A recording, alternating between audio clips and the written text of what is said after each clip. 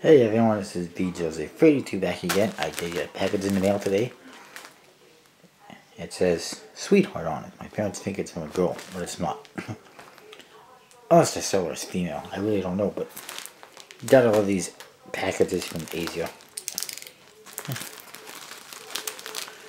I hmm. don't know how to open this thing. There we go.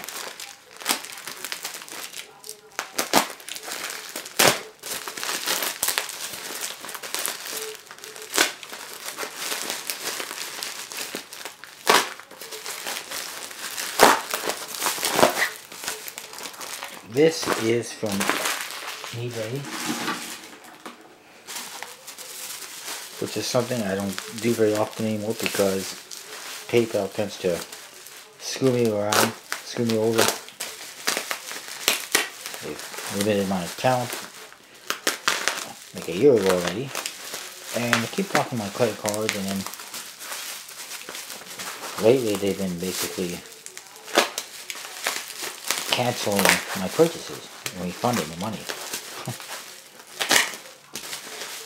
Anyways,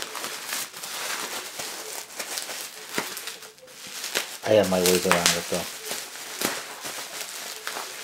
Using new credit cards, other stuff.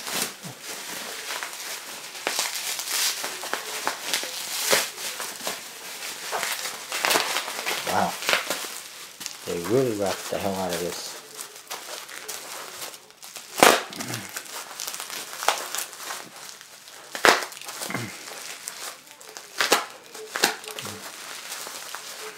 This could be the longest unboxing video ever because it's taken me forever to rip this open.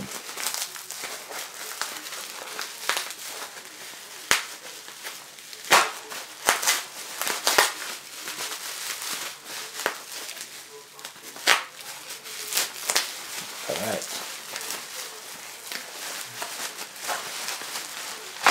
Well. Alright, so we got here is a couple of books from eBay. Both of them are made in Taiwan.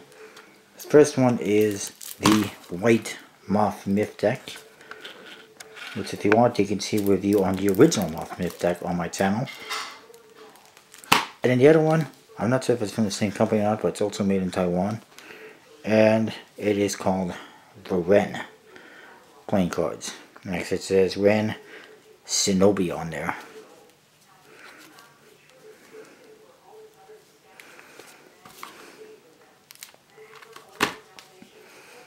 Anyways,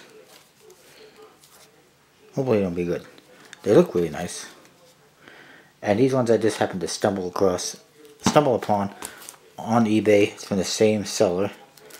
And I figure what the hey. Anyways, that's what I got. Stay tuned for a deck review. Not on these, but on the Crown Luxury deck. I'll see you next time.